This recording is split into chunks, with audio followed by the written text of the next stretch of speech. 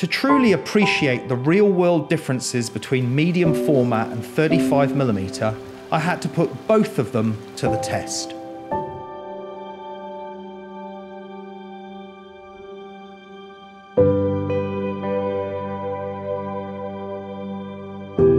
So I've just got Ashley here assisting me, so we're shooting the pictures at the same time. At the moment, we're shooting f16, three seconds, 100 ISO. Just waiting for the wave to sweep up this gully, and then on the sweep out, capturing it on the long exposure. We've both got the same graduated filters, a 0.9 three-stop graduated filter and a three-stop ND filter, enabling us to get to three seconds at f16 um, in these daylight conditions. Ready, now.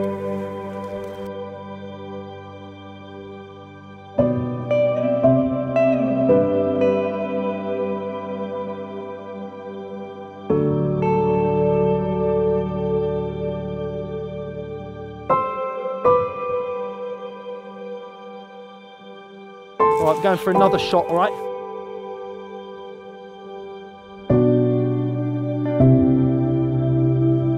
The exposure time still the same on this one?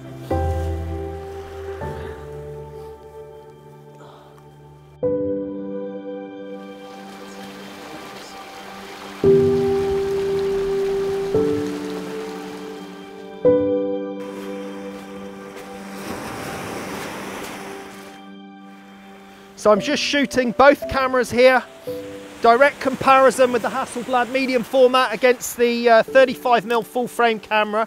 I can tell you my experience from using these type of cameras that just looking through the medium format camera is much greater pleasure because I've got a larger, brighter viewfinder.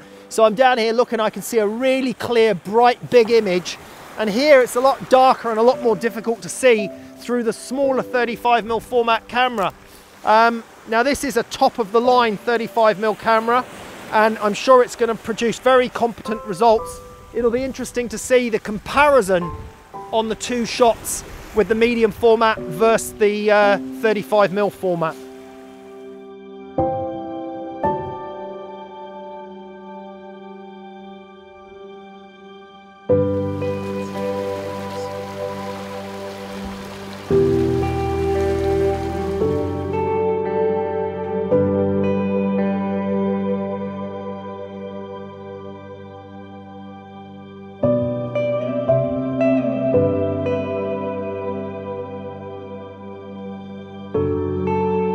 Right, I think that'll do, Ash. Let's uh, pack up.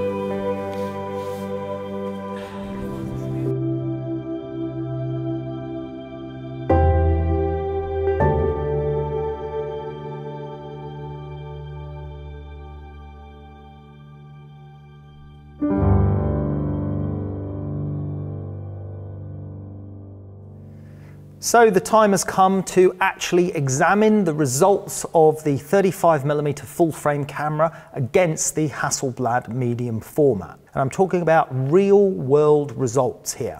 So let's start off and to keep things fair, I'm only using Photoshop uh, Camera Raw as the um, device to examine the images so that we're working on neutral territory, if you like, in exploring these images.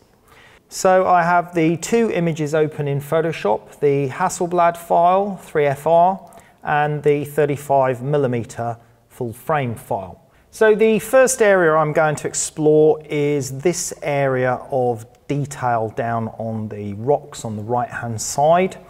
I'm going to zoom in now on the Hasselblad medium format file to this area and we will see if we can line both images up to the same position. Now with the um, 35 millimeter shot, I will have to zoom in uh, to a higher percentage to match the same scale, but that is exactly the same as producing two prints to the same size. So we are effectively giving a real world example of what would happen if you blow these images up to the same size. So let's have a look if they line up. Yes, that looks pretty good. So here is the medium format shot and immediately I can see a superb level of detail captured. And if we flick over to 35mm, we can see that it is considerably softer than the medium format, which is expected given that it is uh, a lower resolution camera and a smaller physical sensor size. Again, if we uh, look at the medium format image, the thing that becomes immediately apparent to me is the three-dimensionality of the image. There is just a lot more bite, a lot more tonal range, and a lot more silkiness across the transitions of tones in the medium format image. When we move to the 35mm image, uh, I would say it looks rather tinny by comparison. Another interesting area to look at is this fissure in the rock here where we have this shadow detail in the fissure here. So we're now looking at the 35 millimeter one. And if we flick to the medium format, we can see a much greater level of detail in that granite rock. Let's move over now to the corner detail of the shots. So I'm going to drop right down to the far corner and I'm looking for corner sharpness on the lenses. I'm going to move across on the 35 millimeter down to the same area and immediately uh, I can see a softer image with greater aberration and corner softening and this isn't just due to the change in resolution. This is definitely uh, a lower quality or lower optical quality um, compared to the Hasselblad uh, optical glass. Now let's move across to the tonal range on the main boulder in the foreground of our shot. And again, we can see a much silkier tonal range on the medium format shot. And again, that slightly harsher, tinnier look um, that has been reproduced on the 35 millimeter shot.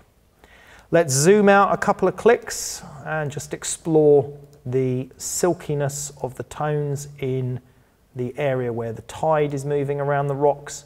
Again, a little bit tinny. Uh, the transition's not quite as good in the 35 millimeter, a lot smoother and a lot silkier in the medium format camera. Now, the detail is absolutely superb in the medium format. Let's have a look at shadow detail. I'm going to go into this area here where we've got some darker shadows and I'm going to take us into the same area on the 35 millimeter. We can see some clear chromatic aberration, that green fringing appearing where you see the transition from the dark tones to the edge of the rock with the higher, brighter tones. You see that green fringing. We don't appear to have that on the medium format shot, or if we do, it is far, far uh, more reduced.